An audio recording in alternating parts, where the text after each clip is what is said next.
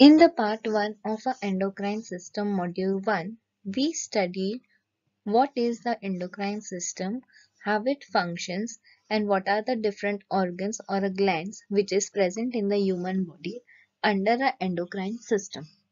Now in this part 2 video, we will going to study each one of glands in details that how they are placed in a human body and what are their functions. Very first gland which is hypothalamus gland. This hypothalamus gland is a very small organ which is situated in the brain region of a human body below the thalamus and it controls the secretion of a pituitary glands. Hypothalamus is also attached with the pituitary gland by a very small stalk which is called as the infundibulum and these in result considered as a connecting link between the endocrine system and a nervous system.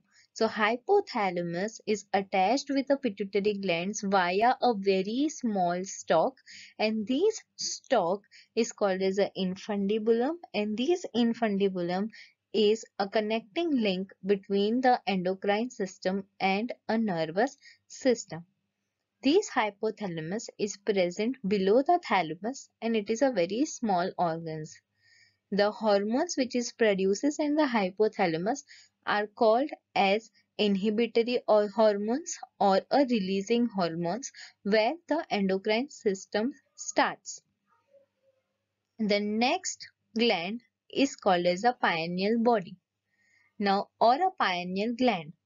So the pineal gland is located below the corpus callosum which is the middle of the brain. It produces the hormones melatonin and melatonin helps the body to know when it's time to sleep. Now after the hypothalamus and pineal gland which is situated at the brain region of a human body. The next gland which is there located in the brain region is called as a pituitary glands. So these pituitary glands is a small pea-shaped organs and it is about about 1 to 1.5 centimeters in a diameter. This is a very little glands is only about the size of a pea but it has a very big job. The functions of the pituitary glands is very important.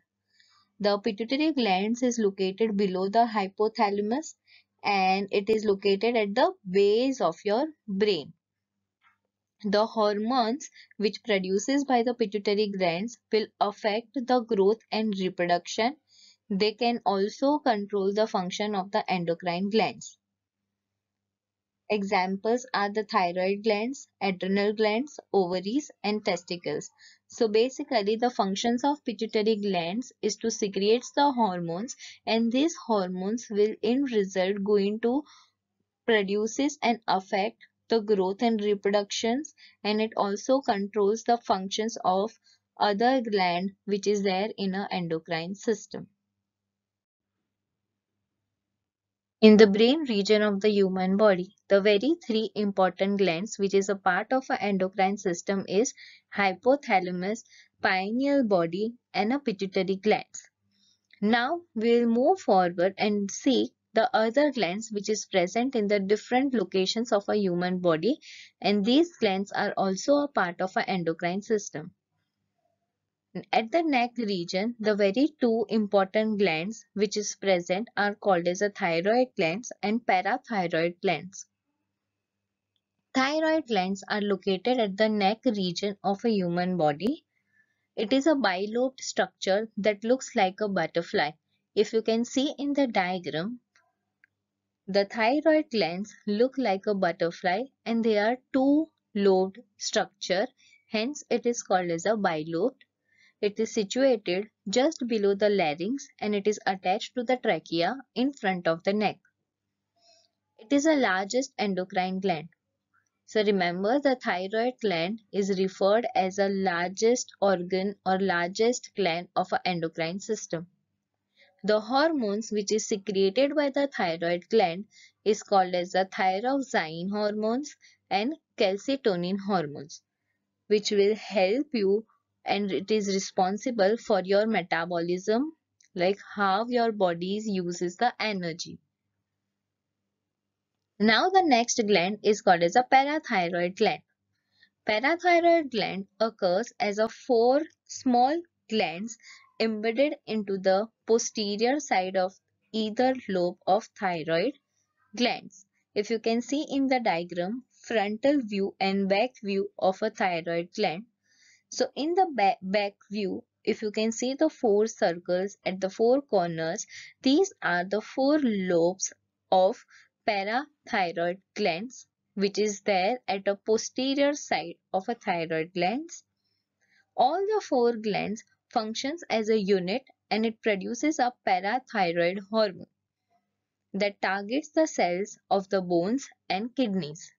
So the parathyroid glands are four lobe structure and all the four lobe structures they are togetherly togetherly produce the hormones which is called as a parathyroid hormones and these parathyroid hormones functions and targets the cells of bones and kidneys.